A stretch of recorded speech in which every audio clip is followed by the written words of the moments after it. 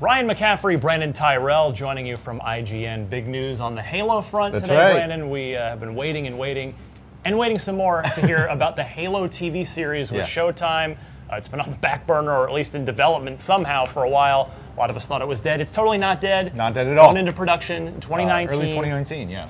10 episode run. One hour long episodes. Hour each. Uh, what do we know so far? What do we want to see from this? We know Spielberg's involved, but more importantly, we know that we have a showrunner now. His name is Kyle Killen.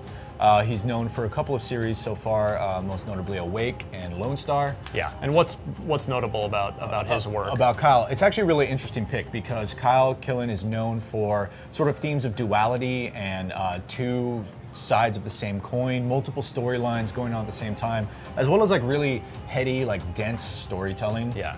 Which I think is perfect for the Halo series because there's so many politics involved and uh, there's such a breadth of, of this universe. So I'm really excited for it because uh, I think, you know, Showtime, uh, their CEO came out and said this is going to be their most ambitious show ever. Uh, and I think this might be the entry point that they're looking for to sort of match HBO in quality of like the Westworld, the Game of Thrones, Exactly. sort of tentpole. real premium television. Yeah. Like like I like I have to subscribe to Showtime to see this Yeah, kind of exactly. stuff. Yeah. Exactly.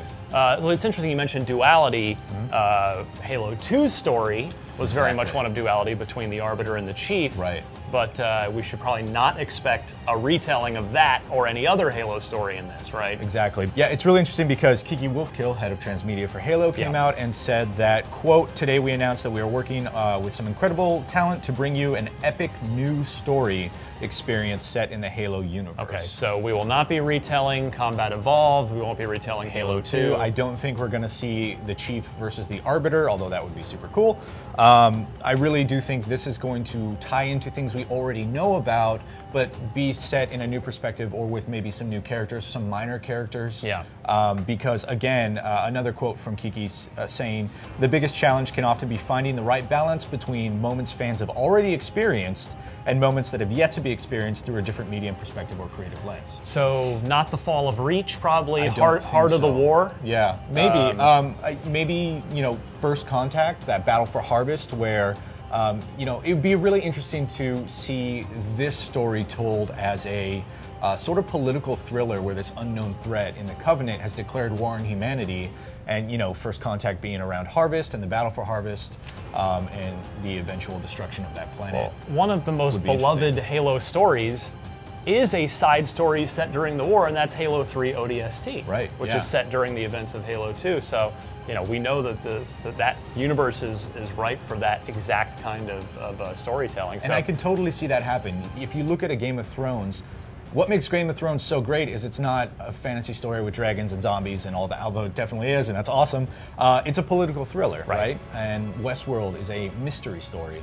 Um, so taking the awesomeness that everything is, that everything that Halo the Universe in- incorporates, and putting that in an actual awesome character-driven storytelling uh, sort of uh, show, uh, I think you know there's a lot that can be done there. all right. So, last point: uh, what does your gut? What does your gut tell you about Master Chief being the primary hero in this TV show? My gut says no. I'm with you on that. Yeah, I mean that quote that we, we were talking about earlier suggests it's going to be, uh, you know, new characters in, in a familiar place. So uh, I'm expecting maybe new Spartans. I mean, let's just wrap. What do you think the story could be? I mean, there's a million places it could go. Uh, Spartan 2s over time have clearly proven to be the most beloved Yeah, of the of the yeah. lot. So I think we might see some Spartan 2s.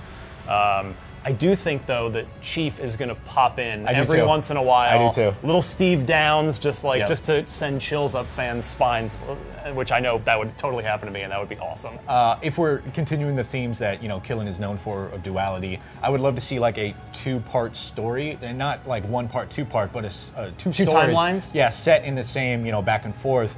You could be like go back in time and and question the morality of like the Spartan program, Oh, I like stealing kids away. Yeah. You know, is this right? Should we do this? And then have the other side of that coin be current time when they're just, you know, kicking butt and taking names on the battlefield to protect humanity. I don't think we're gonna have a human versus covenant story where one angle is the humans and one angle is the covenant. Right. Just because I think that uh, the CGI and the post production needed to like make a meaningful representation of the Covenant or High Charity, uh, Fair point. that would just be too expensive. Fair point. So there's a lot of places we could go, and I'm super excited to learn more about this. Yeah, so uh, we'll be keeping an eye on this in 2019 as it goes into production. We can right. probably expect maybe some first set photos, Yep.